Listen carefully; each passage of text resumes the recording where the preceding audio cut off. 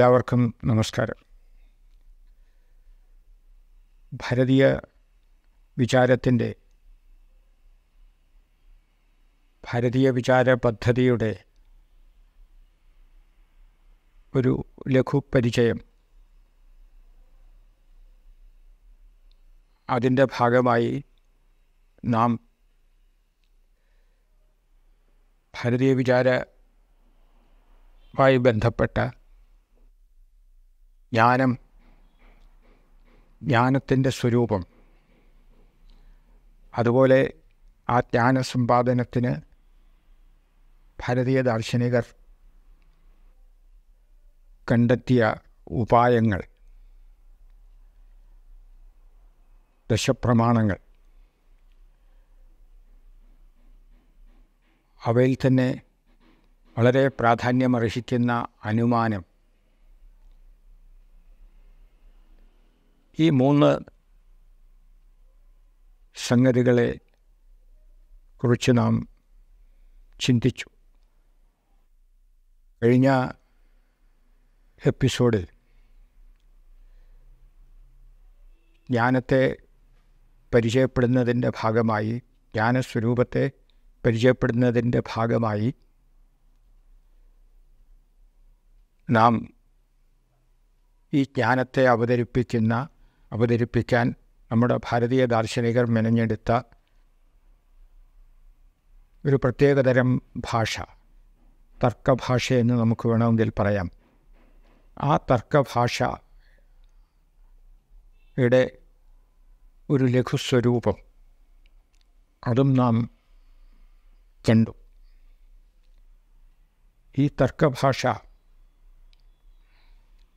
അതും മറ്റു പലതിനെയും പോലെ ഭാരത ഭാരതീയ ദാർശനിക തലത്തിലെ ഒരു പ്രത്യേകമായിട്ടുള്ള സവിശേഷമായിട്ടുള്ള ഒരു സംഗതിയാണ്. സാധാരണ സംസാര ഭാഷ നാം കണ്ടു സംസ്കൃതം സംസ്കൃതത്തെ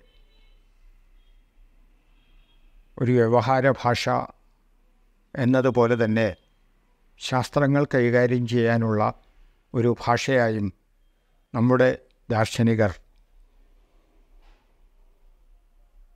ഉപയോഗിച്ചു പോന്നിരുന്നു എന്നത്. ഈ ഭാഷ ഈ ഭാഷയ്ക്ക് ആധാരം ശരിക്കു പറഞ്ഞാൽ പദാർത്ഥങ്ങളും പദാർത്ഥങ്ങളുടെ പ്രത്യേകതകളും തമ്മിലുള്ള ബന്ധത്തെ അതുപോലെ തന്നെ പദാർത്ഥങ്ങളെ കുറിച്ച് നമ്മിലുണ്ടാകുന്ന അറിവിന്റെ ഘടന അതുമായിട്ട് ബന്ധപ്പെട്ടും ആണ് ഈ തർക്കഭാഷയ്ക്ക് രൂപം നൽകിയിരിക്കുന്നത്. ധർമ്മം ധർമ്മി എന്ന രണ്ട് സങ്കേതങ്ങൾ. ഒരു വസ്തുവിനെയോ അല്ലെങ്കിൽ വസ്തുതയെയോ പരിഗണിക്കുമ്പോൾ നാം ഉൾക്കൊള്ളണം.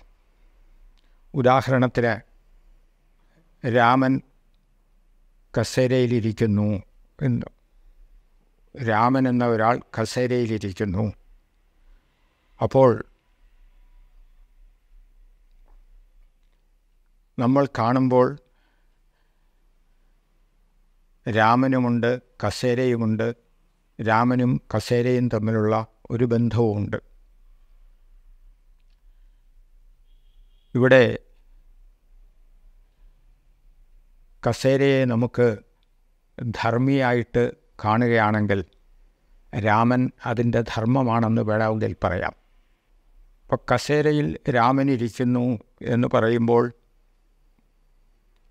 അതേസമയം തന്നെ നമുക്ക് കസേര എന്ന് പറയുന്നതിനെ രാമന്റെ ആധാരമായിട്ട് നമുക്ക് കരുതാം. അതുപോലെ തന്നെ രാമനെ കസേരയുടെ ആധേയമായിട്ടും നമുക്ക് കരുതാം. അതുപോലെ മറ്റൊരു ബന്ധം നിരൂപ്യ നിരൂപക ഭാവമാണ്.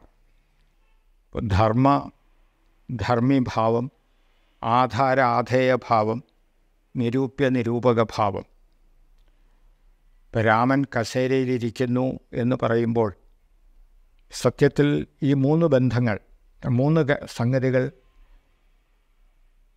നമ്മളുടെ അറിവിൽ ഉൾക്കൊള്ളുന്നുണ്ട്. ഒന്ന് രാമൻ രാമൻ ഇരിക്കുന്ന കസേര രാമനും കസേരയുമായിട്ടുള്ള ബന്ധം. അപ്പോൾ ഇവയെ സാധാരണ ഭാഷയിൽ നമ്മൾ വ്യവഹരിക്കുമ്പോൾ ഇവയെ എടുത്തു പറയാറില്ല അല്ലെങ്കിൽ ഇവയെ വ്യക്തമാക്കിക്കൊണ്ട് സംസാരിക്കാറില്ലെന്നാണ്. അപ്പോൾ നമ്മുടെ ജ്ഞാനത്തിൽ ഉൾക്കൊള്ളുന്ന എല്ലാ സംഗതികളെയും വ്യക്തമാക്കാൻ ഉപകരിക്കുന്ന ഒരു ഭാഷയാണ് സത്യത്തിൽ ഈ തർക്കഭാഷ. അപ്പോൾ രാമൻ കസേരയിലിരിക്കുന്നു എന്നുള്ള ആ വാക്യത്തിന് നമുക്ക് ഈ തർക്കഭാഷയിൽ അതിനെ അവതരിപ്പിച്ചു കഴിഞ്ഞാൽ കസേര നമുക്ക് പറയാം അത് സംസ്കൃതത്തിൽ ആസനം. പൊതുവെ ഇരിപ്പിടങ്ങൾക്കൊക്കെ ഉപയോഗിക്കുന്ന ഒരു പദമാണ് ആസനം. അപ്പോൾ ആസന ആസനത്തിൽ അധികരണത അല്ലെങ്കിൽ ആധാരതയുണ്ട്. രാമനിൽ ആധേയതയുണ്ട്. ഇത് രണ്ടും കൂടെ ചേർത്ത് കഴിയുമ്പോൾ ആസനനിഷ്ഠ അധികരണതാ നിരൂപിത ആധേയതാശ്രയ രാമ. ആസനത്തിൽ ഉള്ള അധികരണത ആ അധികരണതയാൽ നിരൂപിക്കപ്പെട്ട ആധേയതയ്ക്ക് ആശ്രയമാണ് രാമൻ. ഇതാണ് രാമൻ കസേരയിലിരിക്കുന്നു എന്നുള്ള വാക്യത്തിന്റെ കുറേ കൂടെ ശാസ്ത്രീയമായ തർക്ക ഭാഷയിലുള്ള അവതരണം. ഇതുപോലെ തന്നെ തിരിച്ചും പറയാം. രാമനിഷ്ഠ ആധേയതാ നിരൂപിത അധികരണദാശ്രയ ആസനം. അപ്പോൾ രാമനിലുള്ള ആധേയതയാൽ നിരൂപിക്കപ്പെട്ട അധികരണതയ്ക്ക് ആശ്രയം ആയതാണ് ആസനം എന്ന് വരും. ഇതുപോലെ തന്നെ. അപ്പോൾ ധർമ്മം ധർമ്മി നിരൂപകം നിരൂപിതം ആധാരത ആധേയത ഇത്തരം ചില വാക്കുകൾ ഇതുപോലെ തന്നെ അവച്ഛേദകം അവച്ഛേദ്യം പ്രതിയോഗി അനുയോഗി ഈ തരത്തിലുള്ള ചില പ്രത്യേക തര പ്രത്യേക വാചകങ്ങൾ ഉപയോഗിച്ചാണ് ഈ തരത്തിലുള്ള തർക്കഭാഷയിലുള്ള അവതരണം വരിക. നമുക്കറിയാം വസ്തുക്കൾ തമ്മിൽ വസ്തുക്കളോ മനുഷ്യരോ ഒക്കെ തമ്മിലുള്ള ബന്ധം പലതരത്തിലുള്ള ബന്ധമാണ് നമുക്ക് കാണാൻ കഴിയുക. ഗുരുശിഷ്യഭാവമുണ്ട് പതിപത്നീഭാവമുണ്ട് പിതൃപുത്രഭാവമുണ്ട് ഭ്രാതൃഭഗിനീഭാവമുണ്ട് വന്ധ്യ വന്ദകഭാവമുണ്ട് സ്വ സ്വാമിഭാവമുണ്ട് ജന്യജനകഭാവമുണ്ട്.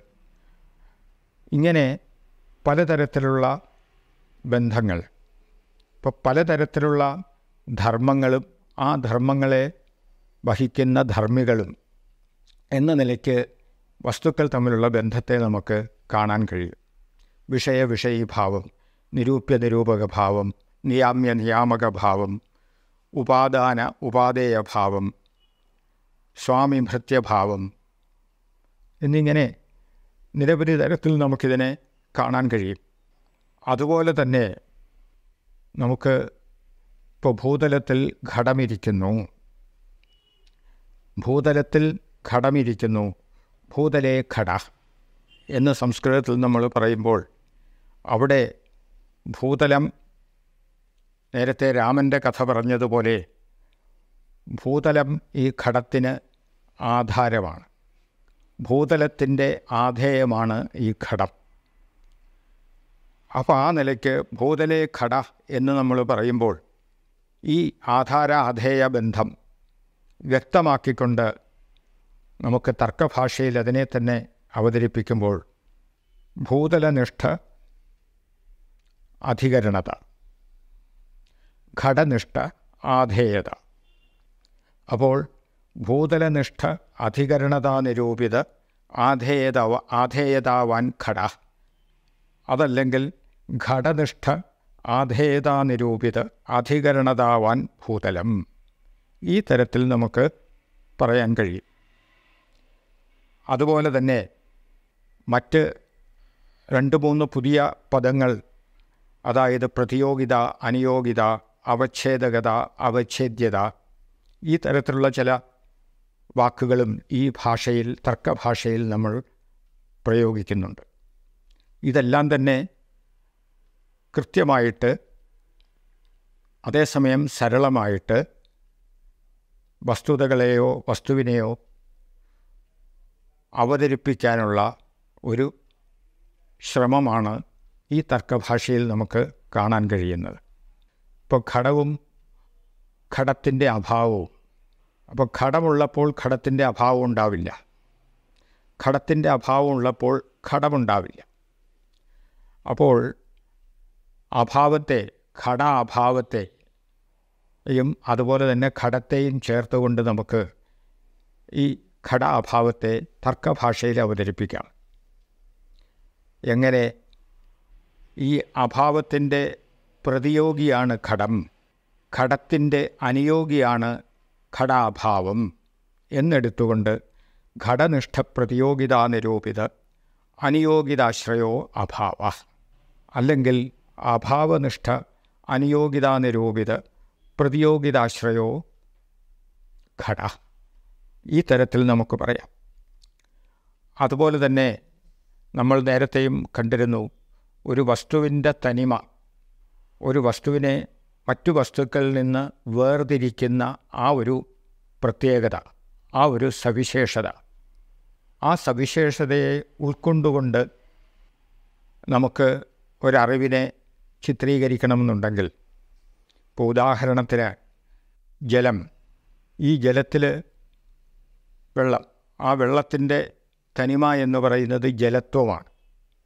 ഈ ജലത്വം കൊണ്ട് അവച്ഛേദിക്കപ്പെട്ട ജലത്വം എന്ന് പറയുന്നത് ഘട ജലത്തെ മറ്റ് വസ്തുക്കളിൽ നിന്നും വേർതിരിക്കുന്ന അതിന്റെ തനിമയാണ്. അതുകൊണ്ട് അതിനെ അവച്ഛേദകം എന്ന് പറയും. ഇപ്പം ജലത്വനിഷ്ഠ അവച്ഛേദകതാ നിരൂപിത ഇപ്പം ജലം വെള്ളം എന്ന് വെറുതെ പറയുന്നതിന് പകരം അതിന്റെ തനിമയെ ഉൾക്കൊണ്ടുകൊണ്ടുള്ള ഒരവതരണമാണ് ജലത്വനിഷ്ഠ അവച്ഛേദകതാ നിരൂപിത അവച്ഛേദ്യതാശ്രയം ജലം. ഈ ജലമാവട്ടെ ജല അഭാവത്തിന്റെ പ്രതിയോഗിയാണ്. അപ്പോൾ ഈ തരത്തിൽ ജലത്വനിഷ്ഠ അവച്ഛേദകതാ നിരൂപിത അവച്ഛേദ്യതാശ്രയ ജലനിഷ്ഠ പ്രതിയോഗിതാ നിരൂപിത അനുയോഗിതാശ്രയോ ജലാഭാവ. ഈ തരത്തിൽ നമുക്ക് വസ്തുക്കളെയോ അല്ലെങ്കിൽ വസ്തുതകളെയോ വളരെ വ്യക്തമായിട്ട് അവതരിപ്പിക്കാൻ ഈ ഭാഷ വഴിക്ക് നമുക്ക് സാധിക്കും.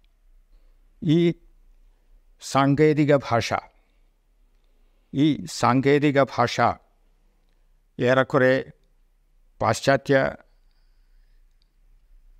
പാശ്ചാത്യരുടെ ഫോർമൽ ലാംഗ്വേജ് മാത്തമാറ്റിക്കൽ ലാംഗ്വേജ് എന്നൊക്കെ പറയുന്ന ശാസ്ത്രവുമായി ബന്ധപ്പെട്ട വളരെ ആക്യുറേറ്റായിട്ട് ഒരു സംഗതി അവതരിപ്പിക്കാൻ വേണ്ടി പാശ്ചാത്യർ ഉപയോഗിച്ചു വരുന്ന പാശ്ചാത്യർ കണ്ടെത്തിയ പ്രതീകങ്ങളെ ഉപയോഗിച്ചുകൊണ്ടുള്ള സിമ്പിൾസിനെ ഉപയോഗിച്ചുകൊണ്ടുള്ള ഒരു ഭാഷ പ്രത്യേക തരത്തിലുള്ള ഘടനയോടുകൂടിയ ഒരു ഭാഷ. അതിന് ഫോർമൽ ലാംഗ്വേജ് എന്നും മാത്തമാറ്റിക്കൽ ലാംഗ്വേജ് എന്നും ഒക്കെ പറഞ്ഞു വരാറുണ്ട്. അതിനോട് കിടപിടിക്കുന്നത്. അതേസമയം യാഥാർത്ഥ്യ ബോധത്തെ വിട്ടുകളയാത്തതുമായ ഒരു പ്രത്യേക തരത്തിലുള്ള ഘടനയാണ് സത്യത്തിൽ നമ്മുടെ ഈ തർക്കഭാഷയ്ക്കുള്ളത്. ഈ തർക്കഭാഷയെക്കുറിച്ച് പ്രസിദ്ധ ചിന്തകനായിട്ടുള്ള കോൾ എച്ച് പോട്ടർ അദ്ദേഹം പറയുന്നത് Indian logic does not make any attempt to develop a purely symbolic and content independent or formal language as the vehicle of logical analysis. Indian logic does not make any attempt to develop a purely symbolic and content independent or formal language as the vehicle of logical analysis. The technical language of Navyanyaya, അദ്ദേഹം തുടരുകയാണ് The technical language of Navyanyaya is intended rather to provide a simple, accurate framework for the presentation of the world as it really is.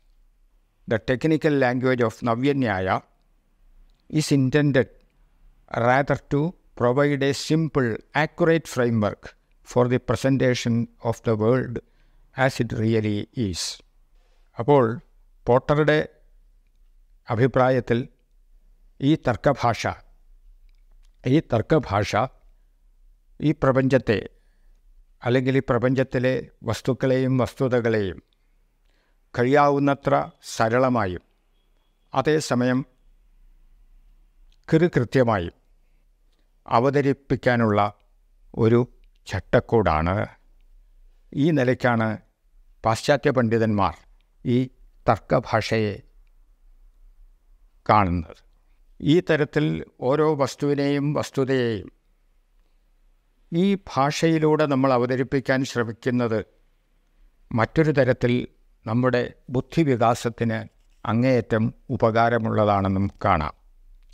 നമുക്ക് വസ്തുക്കളെയോ വസ്തുതകളെയോ കുറിച്ച് ചിന്തിക്കുമ്പോൾ വളരെ ഷാർപ്പായിട്ടുള്ള ഒരു വിശകലനത്തിന് സത്യത്തിൽ നമ്മളെ പ്രാപ്തരാക്കും ഈ തരത്തിൽ ഉള്ള ഭാഷാപ്രയോഗം ഒരു തരത്തിൽ പറഞ്ഞാൽ തർക്കശാസ്ത്രത്തിന്റെ മറ്റൊരു പ്രയോജനം തർക്കശാസ്ത്രം പഠിച്ചാലുള്ള മറ്റൊരു പ്രയോജനം ഈ വിശ്ലേഷണത്തിനുള്ള വിശകലനത്തിനുള്ള കഴിവ് നമുക്ക് വർദ്ധിപ്പിക്കാൻ കഴിയും എന്നുള്ളതാണ് ഈ വിശകലന ശേഷിയെ വർദ്ധിപ്പിക്കാൻ ഏറ്റവും അധികം സഹായിക്കുന്നതാണ് നാം പറയുന്ന ഈ തർക്കഭാഷ. ഭാരതീയ വിചാര പദ്ധതിയുടെ മറ്റൊരു പ്രത്യേകത അതിന്റെ നോളജ് റെപ്രസെന്റേഷൻ അഥവാ ശാബ്ദബോധം എന്ന സങ്കേതമാണ്.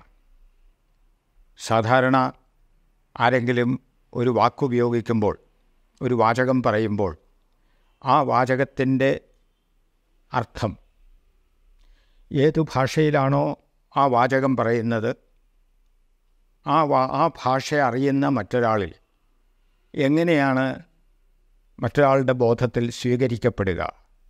ഏത് തരത്തിലാണ് മറ്റൊരാളുടെ ബോധത്തിൽ അതിന്റെ ചിത്രണം ഉണ്ടാവുക അതിന്റെ റെപ്രസെന്റേഷൻ ഉണ്ടാവുക ഇതിനെക്കുറിച്ചും ഭാരതീയ ദാർശനികർ നൂറ്റാണ്ടുകൾക്ക് മുമ്പേ നിരീക്ഷിക്കുകയും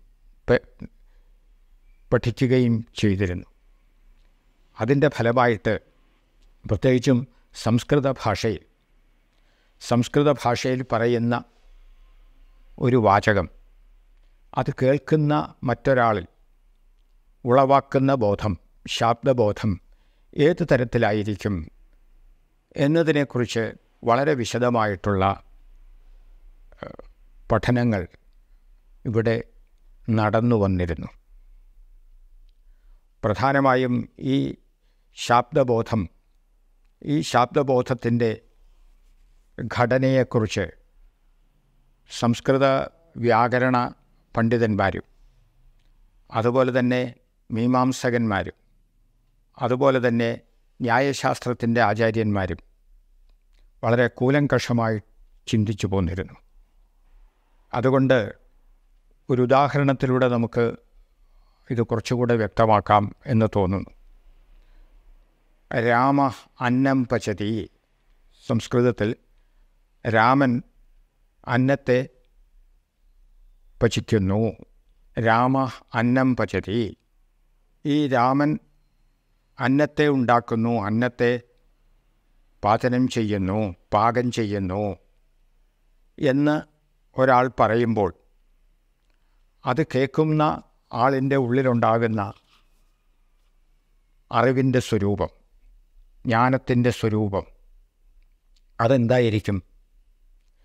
ഇവിടെ നമുക്ക് രാമ അന്നം പചതി മൂന്ന് വാക്കുകളാണ് ഉള്ളത്. ഇതിൽ സംസ്കൃത ഭാഷയുടെ പ്രത്യേകതയും നമ്മൾ കണക്കിലെടുക്കേണ്ടിയിരിക്കുന്നു. രാമ രാമൻ അന്നം അന്നത്തെ പചതി പചിക്കുന്നു ഇതാണ് സാധാരണഗതിയിലുള്ള അർത്ഥം. ഇവിടെ കർത്താവായിട്ടുള്ളത് രാമനാണ്. കർമ്മമായിട്ടുള്ളത് അന്നമാണ്. ക്രിയയായിട്ടുള്ളത് പചതി എന്ന വെർബാണ്. ഇവിടെ രാമൻ അന്നം പാകം ചെയ്യുന്നു എന്നുള്ള ബോധ്യം ഏതു തരത്തിലാണ് കേൾക്കുന്നവരിലുണ്ടാവുക? വൈയാകരണന്മാർ പറയും ആ ബോധത്തിന്റെ സ്വരൂപം വ്യാകരണമനുസരിച്ച് വർത്തമാനകാലീന രാമ അഭിന്ന കർത്തൃക അന്നകർമ്മക പാക വർത്തമാനകാലീന രാമാഭിന്ന കർത്തൃക അന്നകർമ്മക പാക. അതേസമയം മീമാംസകന്മാർ പറയും രാമനിഷ്ഠ കർത്തൃത്വ സമാ സമാനാധികരണ അന്നകർമ്മിക വർത്തമാനകാലീന പാകാനുകൂല ഭാവന. ഇതാണ് മീമാംസകന്റെ കാഴ്ചപ്പാട്. അതേസമയത്ത് നൈയായികന്മാർ ന്യായശാസ്ത്ര വിശാരദന്മാർ പറയും അന്നനിഷ്ഠ വിക്ലിപ്തിജനക പാകാനുകൂലകൃതിമാൻ രാമ. അപ്പോൾ ഇതിലെ ഏതെങ്കിലും മൂന്ന് തരത്തിലുള്ള ഈ അവതരണങ്ങളിൽ ഏതെങ്കിലും ഒരു തരത്തിലുള്ള ഒരു ബോധ്യമായിരിക്കും സത്യത്തിൽ ഈ കേൾവിക്കാരന് ഉണ്ടാവുക. ഈ മൂന്ന് തരത്തിൽ പറയാൻ കാരണം നൈയായികൻ ന്യായശാസ്ത്ര പണ്ഡിതൻ എപ്പോഴും പ്രഥമാവിഭക്തിക്കാണ് ഒരു വാചകത്തിൽ പ്രാധാന്യം കൊടുക്കുന്നത്. ആ പ്രഥമാവിഭക്തി അല്ലെങ്കിൽ കർത്താവ് ഇതിനെ കേന്ദ്രമാക്കിക്കൊണ്ടാണ് ആ വാചകത്തിലെ ക്രിയയും കർമ്മവുമൊക്കെ നിലക്കൊള്ളേണ്ടത് എന്നുള്ളതാണ് ന്യായ പണ്ഡിതന്മാരുടെ നിലപാട്. വൈയാകരണന്മാരും അതായത് വ്യാകരണ പണ്ഡിതന്മാരും മീമാംസകന്മാരും പറയുന്നത് കർത്താവിലല്ല ക്രിയയിലാണ് ഊന്നൽ കൊടുക്കേണ്ടത്. ഈ ക്രിയയിൽ തന്നെ വ്യാകരണ പണ്ഡിതൻ പറയും ആ ക്രിയയുടെ ധാതുവിലാണ് ഊന്നൽ കൊടുക്കേണ്ടത്. മീമാംസകന്മാർ പറയും അല്ല ആ ധാതുവിന്റെ പ്രത്യയത്തിലാണ് ആഖ്യാതത്തിലാണ് ഊന്നൽ നൽകേണ്ടത്. അവർ അതിന് ഭാവന എന്ന ഒരു സങ്കേതത്തെ വിശദമാക്കുന്നുണ്ട്. അപ്പോൾ ഈ തരത്തിൽ രാമ അന്നം പച്ചതി എന്നതിനെ വൈയാകരണന്മാർ അതായത് ക്രിയയ്ക്ക് പ്രാധാന്യം ധാതുവിന് പ്രാധാന്യം കൊടുക്കുന്ന തരത്തിൽ ഇതിനെ അവതരിപ്പിക്കുന്നു. വർത്തമാനകാലീന രാമാഭിന്ന കർത്തൃക അന്നകർമ്മക പാക അതേസമയം മീമാംസകന്മാർ പ്രത്യയത്തിന് അല്ലെങ്കിൽ സഫിക്സിന് വെർബിന്റെ സഫിക്സിന് പ്രാധാന്യം കൊടുക്കുന്ന മീമാംസകന്മാർ രാമനിഷ്ഠ കർത്തൃത്വ സാമാനാധികരണ അന്നകർമ്മിക വർത്തമാനകാലീന പാകാനുകൂല ഭാവന എന്ന് പറയും. അതേസമയത്ത് ന്യായശാസ്ത്ര പണ്ഡിതർ പറയും അന്നനിഷ്ഠ വിക്ലിപ്തിജനക പാകാനുകൂല കൃതിവാൻ രാമ. ഇതിൽ ഈ വാചകത്തിൽ ശരിക്കു പറഞ്ഞാൽ സംസ്കൃത ഭാഷ അനുസരിച്ച് പ്രത്യയങ്ങളും എല്ലാം ചേർന്ന ആറ് ഘടകങ്ങളെയാണ് വേർതിരിക്കാൻ നമുക്ക് സാധിക്കുക.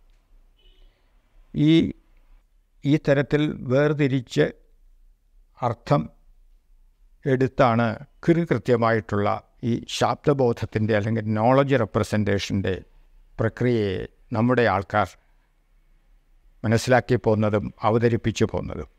ഇതിൽ നൈയായികന്റെ ചട്ടക്കൂടാണെങ്കിലും ശാബ്ദബോധത്തിന്റെ ചിത്രണമായാലും ശരി വൈയാകരണന്റെ വ്യാകരണ പണ്ഡിതന്റെ ചിത്രണമായാലും ശരി മീമാംസകന്മാരുടെ ചിത്രണമായാലും ശരി ഇവയെല്ലാം തന്നെ കേൾക്കുന്ന ഒരാളിലുണ്ടാകുന്ന ബോധത്തെ സംസ്കൃത ഭാഷയിൽ ലൂടെ പറയുന്ന ഒരു വാക്യത്തിന്റെ ബോധത്തെ ഒരു ശാബ്ദബോധത്തെ വളരെ സൂക്ഷ്മമായിട്ടും വ്യക്തമായിട്ടും കൃത്യമായിട്ടും അവതരിപ്പിക്കാൻ ഈ മൂന്ന് തരം പ്രയോഗത്തിനും ഉതകും എന്നുള്ളതാണ് പണ്ഡിതന്മാരുടെ വിലയിരുത്തൽ.